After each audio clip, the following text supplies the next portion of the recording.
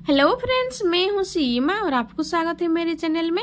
आज मैं लेके आई हूँ बहुत ही यूनिक और आसान तरीका का टेस्टी वाला हेल्दी वाला, एकदम मुलायम वाला आलू पराठा रेसिपी और भी बिना आटा गूंथ के कैसे हम आलू पराठा बहुत ही कम समय में बना सकते एकदम मुलायम और टेस्टी वाला रेसिपी लेके आई हूँ फ्रेंड्स अगर मेरा रेसिपी आप लोगों को अच्छा लगे तो please like comment and subscribe करना बिल्कुल भी ना भूले।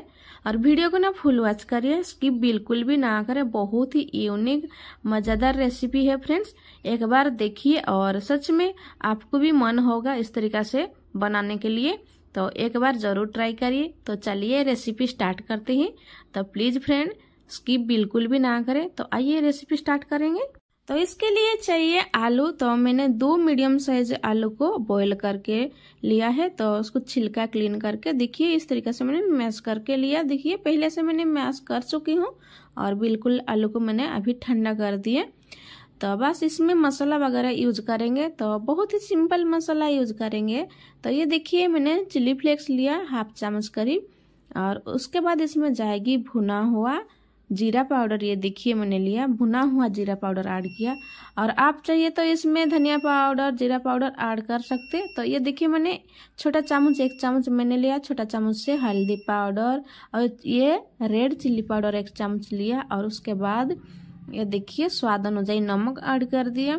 बस इसमें जाएगी कटा हुआ धनिया पत्ता और कुछ भी नहीं मिलाएँगे। तो बस और अच्छा से मिक्स करेंगे, हाथों से मिक्स करने से। बहुत ही अच्छा से मिक्स हो जाता है। तो एकदम स्मूथ आलू को ना एकदम स्मूथ बनाएँगे, एकदम स्मूथ गुठलिया वगैरह नहीं रहना चाहिए तो ये देखिए, एकदम स्मूथ कर दिया मैंने, चिकना कर दिया, एकदम आटा जैसे। इसको रखेंगे साइड में। तो ये देखिए मैंने बाउल लिया तो इसमें एक कटोरी मैदा लिया देखिए। हाँ फ्रेंड्स मैंने मैदा लिया। आप ना इसमें मैदा का जगह आटा ले सकते हैं। तो देखिए, इसमें मैंने नमक ऐड कर दिया। हाफ़ चम्मच, छोटा चम्मच से और कुछ अजवाइन लिया, देखिए। तीन, चार चुटकी करीब और एक से डेढ़ चम्मच इसमें ऑयल मैंने मिला दिया। और सूखा ही पहले मिक्स करेंगे अच्छा से, देखिए इस तरीके से। सूखा पहले मिक्स करेंगे, उसके बाद इसको घोल बनाएँगे। तो ये देखिए, मैंने अच्छा से मिक्स कर दिया और इसमें जाएगी अभी आलू। तो ये देखिए, मैंने आलू को डाल दिया बस। और अच्छा से आलू और आटा को ना मिक्स करेंगे सूखा। पहले अच्छा से मिक्स करेंगे। तो ये देखिए, इस तरीके से मिक्स करते जाइए और आप चाहिए तो इसको हाथों से भी मिक्स कर सकते हैं। तो देखिए, मैंने कच्ची से इस तरीके से दबा दबा के अच्छा से मिक्स कर दिया। ये देखिए। अभी क्या करेंगे ना थोड़ा थोड़ा पानी ऐड करके बैटर तैयार करेंगे।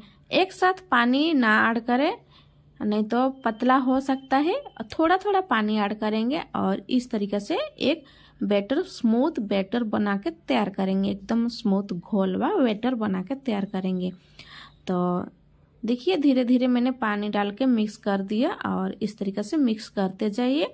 और ये देखिए बैटर पूरा रेडी है। तो, तो ये देखिए परफेक्ट है बैटर पूरा रेडी। तो इसलिए आलू को ना अच्छा से मिक्स करना चाहिए। नहीं तो इसमें आलू या गुंठलिया वगैरह आ सकता है। तो पूरा मेल्ट हो गया, देखिए, पूरा मिक्स हो गया अच्छा से। तो इधर मैंने पैन चढ़ा दिया, देखिए, गैस पे। और पैन जैसे गर्म होगा ना, इसमें घी बा ऑयल हल्का सा ग्रीस करेंगे। और ये देखिए, पैन मेरा गर्म हो गया, मैंने ऑयल लिया। देखिए रिफाइंड का ऑयल लिया, बस। उसको ना अच्छा से ब्रश से इस तरीके से ग्रीस कर देंगे, चारी तरफ़ लगा देंगे इस तरीके से। और उसके बाद पराठा सेकेंगे बा बेटर को इसमें देंगे। बहुत ही आसान है फ्रेंड्स बहुत जल्दी बन जाता है, ज़्यादा टाइम नहीं लगता है, और बहुत ही स्वादिष्ट पराठा बनकर तैयार होता है। एक बार ज़रूर ट्राई करिए। तो ये देखिए पैन पूरा अच्छा से गर्म हो चुका है, और गैस का फ्लेम ना मीडियम रखेंगे, लो टू मीडियम रखेंगे। तो एक कर्ची मैंने उठा के देखिए, इस तरीके से डाल दिया और आधा कर्ची डालेंगे। बस उतना ही थोड़ा सा फैला देंगे, ज़्यादा मोटा नहीं रखेंगे। तो इस तरीके से देखिए, मैंने फैला दिया। बस बहुत ही आसान है, उसको ढांकने के लिए ज़रूरत नहीं है। आप ढांक भी सकते हैं, लेकिन मैं ना बिना कवर करके ये पराठा रेडी किया था। और ऊपर से ना हल्का हल्का क्रंचीनेस भी आता है और सॉफ्ट भी रहता है और बहुत ही मैंने सुबह बनाया था, रात तक भी। मेरा पराठा ऐसे ही था, एकदम सॉफ्ट था और टेस्टी भी था ऐसे। तो ये देखिए, हल्का हल्का सीख गया। इस तरीके से हो जाएगी सारा पराठा, ऊपर ऐसे हो जाएगा, देखिए। जैसे देखिए अच्छा से सीख गया तो इस तरीके से पलट देंगे। तो देखिए, मैंने एक तरफ़ जैसे हो गया, दूसरा तरफ़ पलट दिया। और इस तरह से उलट पलट करके देखिए, ये ऊपर से कैसे क्रंचनेस आ रहा है ना तो ऐसे हम ऑयल ग्रीस करेंगे। बहुत ही कम घी व ऑयल इसमें यूज़ होता है। और देखिए, आप ना बिना ऑयल घी से भी ये पराठा खा सकते हैं। और बिना ऑयल में भी बन जाता है और बहुत ही स्वादिष्ट लगेगा बिना ऑयल में भी व बिना घी में भी। तो ये देखिए पराठा एकदम रेडी है। तो दूसरा पराठा, तीसरा पराठा मैंने देखिए बनाया ऐसे ही सेम प्रोसेस से। और ये देखिए हल्का हल्का फूल चुका है। तो चलिए प्लेटिंग करेंगे। तो ये है ना फ्रेंड्स बहुत ही आसान, बहुत ही जल्दी ये बन गया देखिए। और बहुत कम समय लगता है, सिर्फ़ सेकने में दो मिनट करीब लग जाता है। ज़्यादा टाइम नहीं लगता है और बहुत ही स्वादिष्ट बनता है देखिए।